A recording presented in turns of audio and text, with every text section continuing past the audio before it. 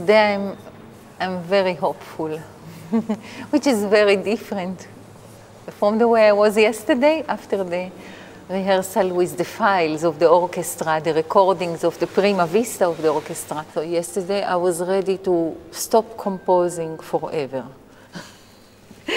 after the rehearsal. But um, today I know that I had a very, very clear uh, vision of, of what's going to happen. And the more I hear, the more confident I become. I did hear things which I could not be sure about how they would function.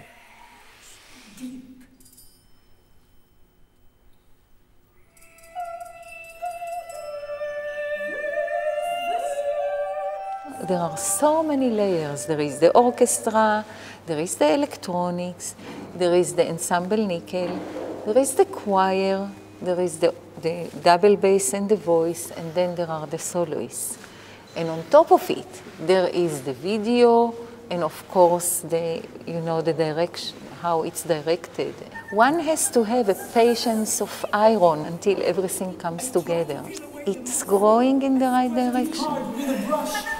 With a brush, with a knife, with my fingernails, my teeth.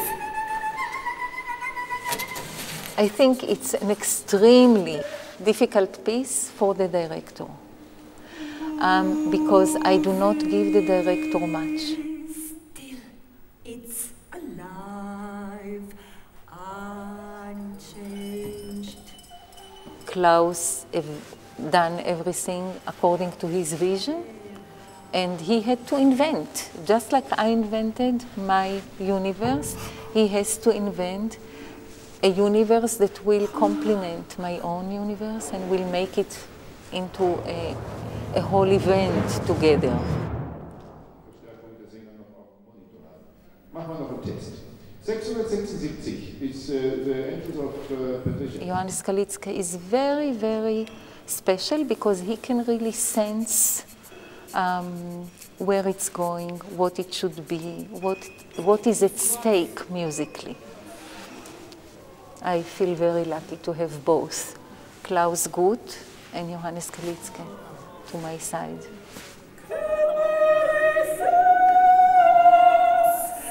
Quiet water of your lightly tongue moving into